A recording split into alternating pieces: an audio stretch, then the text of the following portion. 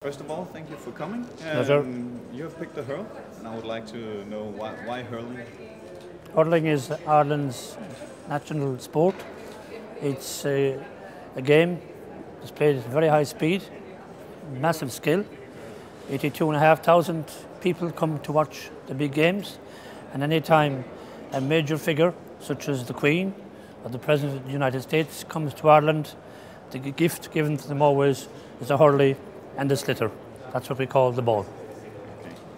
And uh, in Ireland, uh, there are 34% people not uh, physically active or doing sport at all. And I would like to know uh, what do you think can be done about these figures? I think uh, there's a high level of participation in Ireland by those who are actually active, but then there's, as you said, a number of people that are not active.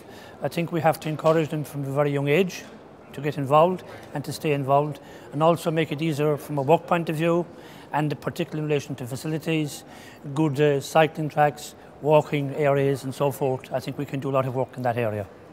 Do you think there's done enough at the moment? It's beginning to change. Over the last number of years there have been major changes. There is a greater consciousness of the need for more people involved in sport and physical activity both from a leisure point of view, but also from a health point of view. I think the health message is certainly getting through to more and more people, and I'd like to see that continuing into the future.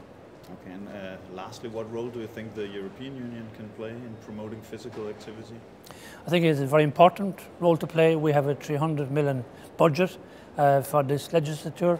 We have to ensure that we have uh, very active participation on the ground in terms of Move Week, encouraging more and more people to become involved, and of course uh, having areas like the European Capitals of Sport, uh, in uh, festivals for indigenous sports to sh show people that Europe cares about sport, is promoting sport and all the benefits uh, accordingly associated with sport. I think that's a very important message from the European point of view.